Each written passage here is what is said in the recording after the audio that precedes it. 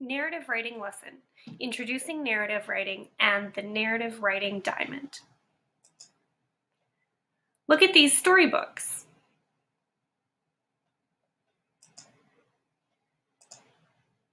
Each tells a narrative story. Narrative stories entertain the reader. Narrative stories are all about a main character. How many of these characters do you recognize? The main character has a problem or an adventure. Gerald the giraffe is sad because he can't dance as well as the other animals in the jungle. See Gerald's problem? Gerald was a tall giraffe whose neck was long and slim, but his knees were awfully crooked and his legs were rather thin. He was very good at standing still and ma- matching shoots off trees. But when he tried to run around, he buckled at the knees. How does he solve his problem?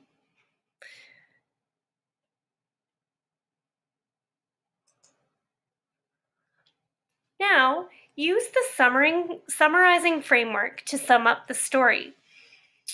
Main character, setting, problem, experience, adventure, solution, conclusion. This story is about who's the character. The problem, adventure, or experience was that single significant main event, the most important thing that happened in the story. The problem was solved, adventure slash experience concluded when what was the solution or the conclusion? This is a story about Gerald. The problem was he couldn't dance. The problem was solved when the cricket played a tune and helped him to dance. We also use this summarizing framework to plan a story. Again, we have the main character, the setting, the problem, experience, or adventure, the solution, and the conclusion. This is the shape of a narrative story. The diamond changes a summary into a fully elaborated, entertaining story. Let's look at the narrative writing diamond section by section. From the top to the middle to the bottom. An entertaining beginning starts off by grabbing the reader's attention. Hook your reader. How do they do that? Elaborative detail brings your story to life. That means you're describing important story critical characters, settings, or objects. The middle or main event is the biggest part of the story. It shows action in slow motion, frame by frame, and stretches it out. Include description and main character's thoughts and feelings.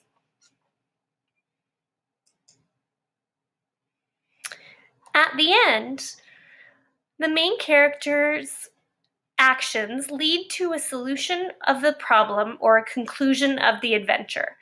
And then an extended ending is where the main character has a memory, a feeling, a hope, or a wish.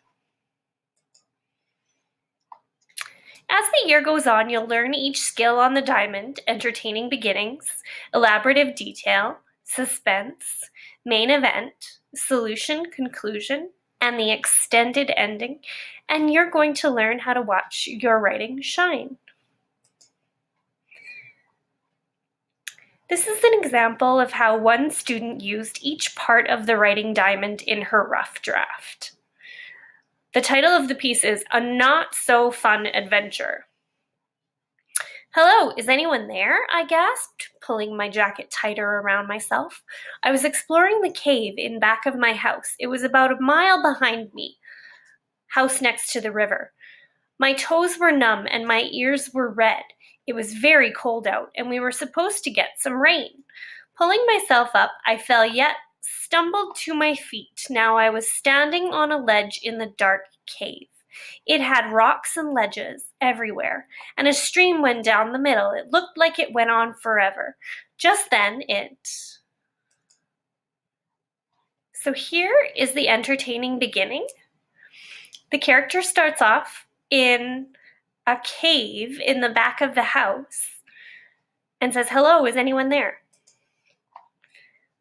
Elaborative detail is where the author tells us about how they're feeling and gives us details about what's going on. And then the two words just then, they give you a sense of suspense, like what's coming next, anticipation, I need to know.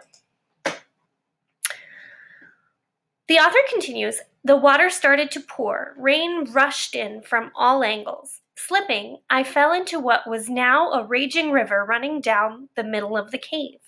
My head grew dizzy, and my thoughts were blurred. The splashing waters throw me around like a toy. Freezing cold water splashed up against me in the struggle to stay alive.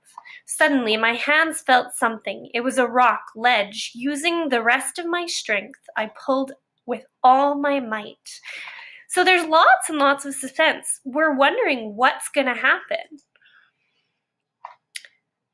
And this is the main event. You'll notice that it's the biggest part of the writing. Um, the main event is when the character al- almost drowns in a cave. On this page, the main event continues. The main character struggles and thrives as told through action, description, thoughts, and feelings. And do you see how the main event is the biggest part of the story?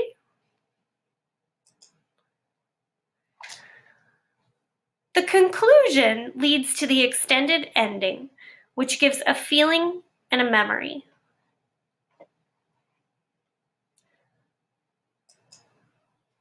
Let's review.